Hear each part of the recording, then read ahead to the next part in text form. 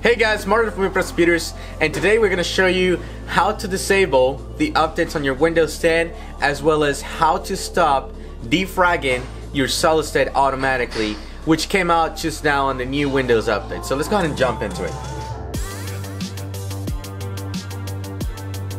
Alrighty guys, so once you are on your desktop, all you have to do is go to your file explorer over here and we will go once you're on this PC some people will actually go automatically to quick access.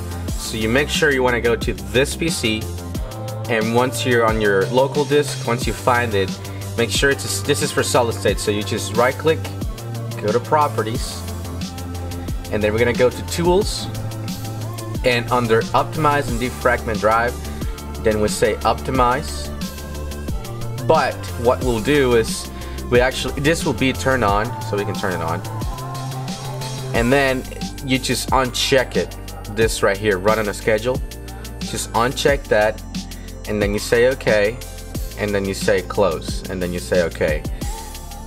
And for your Windows 10 up, uh, updates to disable them all you have to do is click on the bottom left corner of your Windows icon on the start menu and then you go to settings right here and then under updates and security uh, right now it's uh, on but all you have to do is say pause for seven days.